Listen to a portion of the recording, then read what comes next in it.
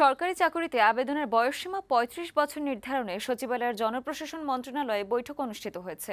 বুধবার সকালে জনপ্রশাসন সংস্কার কমিটির প্রধান আব্দুল মুহিত চৌধুরীর সাথে আলোচনায় বসে চাকরিতে আবেদনের বয়স পঁয়ত্রিশ প্রত্যাশী শিক্ষার্থীরা।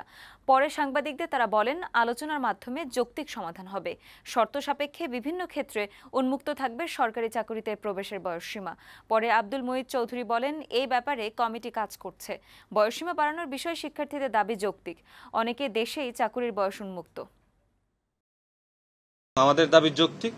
এই যৌক্তিকতার নিরিখে আমাদের আলোচনাগুলো ছাড়া অ্যাপ্রিসিয়েট করেছেন। বয়স বৃদ্ধি করার যৌক্তিকতা আছে এই বিষয়ে কোনো সন্দেহ নেই।